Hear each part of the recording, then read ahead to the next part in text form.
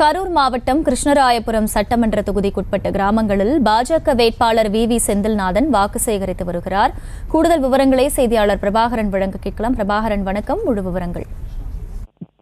வணக்கம் மகிழா தமிழகத்தில் ஒரே கட்டமாக வருகின்ற பத்தொன்பதாம் தேதி பாராளுமன்ற தேர்தல் நடைபெறதை ஒட்டி கரூர் தொகுதி பாஜக வேட்பாளர் வி. வி. செந்தில்நாதன் இன்று கிருஷ்ணராயபுரம் சட்டமன்ற தொகுதிக்குட்பட்ட கீழம்பட்டி காளையாம்பட்டி காணியாலம்பட்டி வீரணம்பட்டி உள்ளிட்ட பல்வேறு கிராமங்களுக்கு சென்று தீவிர வாக்கு சேகரிப்பில் ஈடுபட்டார்.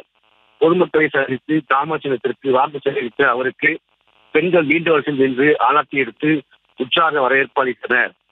அப்போது காளியாம்பட்டி கிராமத்தில் பேசிய பாஜக வேட்பாளர் வி. செந்தில்நாதன் வீடுதோறும் குடிநீர் இணைப்பு வழங்கும் ஜல்ஜீவன் திட்டம் மருத்துவ காப்பீடு திட்டம் உள்ளிட்ட எண்ணற்ற திட்டங்களை மக்கள் பயன்பெறும் வகையில் ஊழல் இல்லாமல் மோடி கொடுத்து வருகிறார் என தனது தேர்தல் பிரச்சாரத்தை மேற்கொண்டார். இந்நிகழ்ச்சியில் கூட்டணி கட்சி நிர்வாகிகள் உடனிருந்தனர். முழு விவரங்களுக்கு நன்றி பிரபாகரன். செய்திகளை உடனுக்குடனும் துல்லியமாகவும் தெரிந்து கொள்ள சப்ஸ்கிரைப் பண்ணுங்க.